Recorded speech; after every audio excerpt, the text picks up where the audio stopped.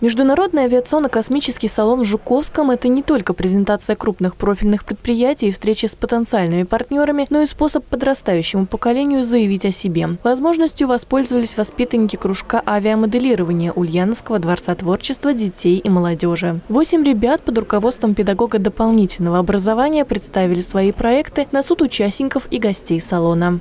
Ребятки очень умные, они долго работали. Некоторые у нас ездили на мероприятия в Екатеринбурге были, недавно вот вернулись из Королева.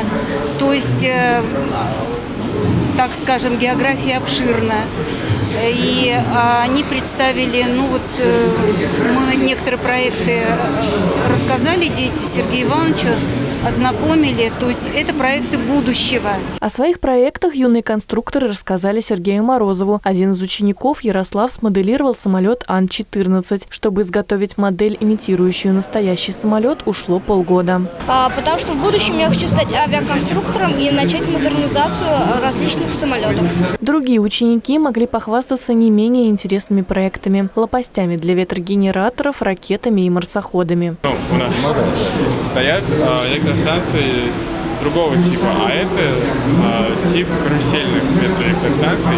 У них суть в том, что у них нет ориентации на ветер, то есть с какой бы стороны ветер не дул, они все равно будут работать в любом случае. Мне представляется о том, что это более интересная часть. Я не исключаю, может быть, через какой-то период времени, э, через 5, там, через 10 лет, может быть, это как раз и будет главной площадкой не э, сегодняшние самолеты, а вот э, такие площадки э, с точки зрения привлекательности. Напомним, в этом году на экспозиции «Макс» свою продукцию представляют 15 ульяновских предприятий. Впервые за историю авиасалона продукция Ульяновской области выставлена в региональном павильоне вместе с техникой Самарской области, Татарстана и Пермского края. Анна Тищенко, Новости Улправда ТВ.